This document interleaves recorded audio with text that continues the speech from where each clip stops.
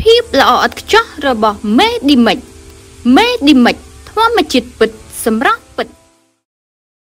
រឿងអង្គរឡែនជាមួយលោកជំទាវលៀមអីបាទយ៉ាងម៉េចដែរអញ្ញាធរក៏ដូចជាតឡាការមិនមានចំណាត់ការទៅលើរឿងធ្វើខ្លោងហ្វៀមួយនេះប្រិញ្ញមិត្តជនដែលលោកជំទាវបានដាក់លិខិតទប់ស្កាត់សុំរក្សាការពារដីរបស់គាត់ក៏ដូចជាកុំឲ្យមានការសាងសង់លើដីរបស់គាត់នៅឯ ស្រុកប្រទេសស្រីហ្នឹងបាទបាទអញ្ចឹង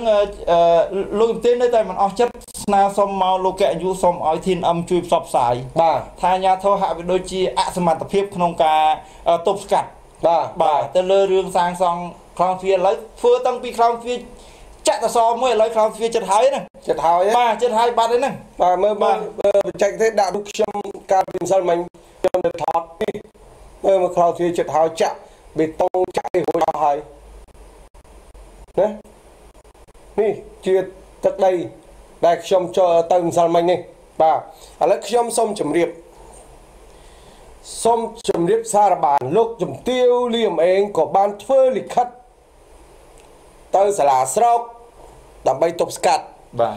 ទៅថ្នាក់ខេត្តដើម្បីទប់ស្កាត់ដោយឡែកថ្មីថ្មីនេះច្បាយខេត្តលោកទាសេហាចេញលិខិតមួយទៀត ជំរាបជូនលោកអភិបាលនៃគណៈអាបាលស្រុកបន្ទាយស្រីនៃស្រុកបន្ទាយស្រី កាលពីថ្ងៃ10ខែសីហា ឆ្នាំ2020នេះបាទករណីឈ្មោះលីអ៊ំអេងឈ្មោះលីសេងហួតឈ្មោះលីជាលីងនិងលីសេងឆៃរស់នៅភូមិឃុំអឺចុងកាស៊ូសង្កាត់ស្លក្រាម ក្រុងសៀមរាបខេត្តសៀមរាប ស្នើសុំមេត្តាជួយទប់ស្កាត់បញ្ឈប់ការសាងសង់សំណង់ផ្សេងផ្សេងនិងលក់ដូរដីធ្លីបូរីអង្គរលាក់លាក់ណាពាក្យបណ្ដឹងរបស់លោកជំទាវដាក់តាំងពីថ្ងៃណាថ្ងៃទី27មេសា2020រហូតដល់ចវាយខេតលោកទាសេហា ក៏បានប្រាប់ទៅដល់ចវាយស្រុកបន្ទាយស្រីលោកខឹមហ្វីណងឲ្យជួយទប់ស្កាត់តាមតពាក្យបណ្ដឹងរបស់លោកជំទាវលីអំអេងចុះឥឡូវទៅណាទប់ស្កាត់យ៉ាងណាដែរលិខិតនេះដែលមានសញ្ញាពីលោកទាសេហានេះគាត់ជាច្បាយខេតបញ្ជាមកថ្នាក់ស្រុក ឥឡូវថ្នាក់ស្រុកអត់អនុវត្តគិតយ៉ាងម៉េចច្បាប់គិតម៉េចឥឡូវលោកបំរើរាជឬក៏រាជត្រូវបំរើលោកវិញសួរអញ្ចឹងវិញឲ្យឲ្យអស់ប្រជាពលរដ្ឋរងទុកវេទនាអញ្ចឹងអឲ្យលោកកាន់កាប់មកមិនដឹងធ្វើបាច់បើប្រជាពលរដ្ឋមានបញ្ហាអញ្ចឹងបាទឥឡូវគេធ្វើអង្គរលែននឹងធ្វើខ្លោងទ្វាចិត្តហើយទៀតហើយ រឿងអង្គរឡែនហ្នឹងឮថាមិនទាន់ឲ្យលុយទិញដីលោកទាលីអីអមអីហ្នឹងមិនទាន់ឲ្យលុយគ្រប់ទេណាបាទនៅសល់3 4លានទៀតហេដូចច្រើនជាងហ៎លោកទាគាត់បានបញ្ជាក់មកប្រាប់ខ្ញុំហ៎បាទគាត់ថាចេញលិខិតដែលលោកកយុអានមកយ៉ាងហើយនៅតែអង្គរឡែននឹងធ្វើទៀតបាទតែលុយដែលអង្គរឡែនជាពាក់ដីគាត់នោះជាង4លានដុល្លារបាទបាទអញ្ចឹងគាត់สนុំពោទៅដល់ បងប្អូនប្រិមិត្តជនជនក៏ដូចជាអ្នកដែលចង់ជីវនៅដីអង្គរឡែនបាទពួកជឿអត់បានទេពួកគាត់មាន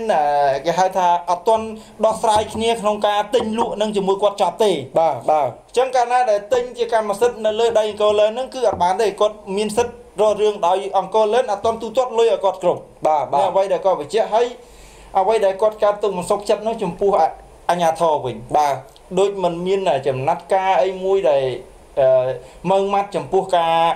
ស្នើសុំរបស់គាត់បាទបាទឃើញថាស្នើទៅនៅតែធ្វើស្នើទៅនៅតែធ្វើពិបាកដែរបាទដល់លោកជាមន្ត្រីថ្នាក់ខេត្តប៉ុណ្ណឹងហើយមិនចេះដោះស្រាយឲ្យប្រជាពលរដ្ឋយើងបាទគាត់ដាក់លិខិតទប់ស្កាត់ទប់ស្កាត់នៅតែលក់នៅតែដូរ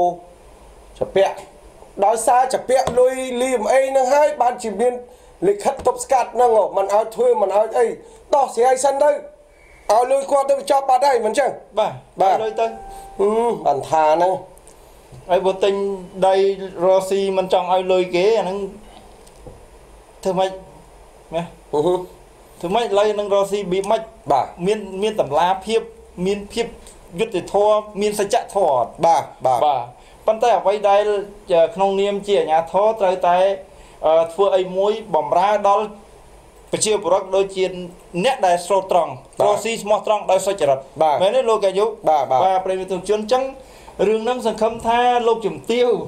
លីអំឯងលោកលោកជំទាវនឹងបានទទួលនៅយុទ្ធធរថ្ងៃណាមួយមិនខានបាទបាទពីព្រោះគាត់បានស្នើទៅតុលាការក៏ស្នើទៅអាជ្ញាធរស្រុកក៏ស្នើ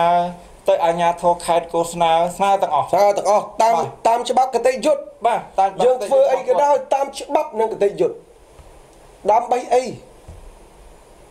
គាត់ជាមនុស្សនៅក្នុងសង្គមគេទទួលស្គាល់ដែរអញ្ចឹងគាត់ដើរទៅតាមផ្លូវច្បាប់អញ្ចឹងច្បាប់ជួយអនុវត្តផងហឹមសំបីតែបែកកញ្ចក់ឡានរហមិនបានផងហ្នឹងរហរអ្នកចោលមិនបានផងសិត តែតាមផ្លូវសិតមានកាមេរ៉ាដល់តាមចោលមិនបានផងចាប់ចោលមិនបានផងខេត្តសៀមរាបនិយាយអញ្ចឹងចុះ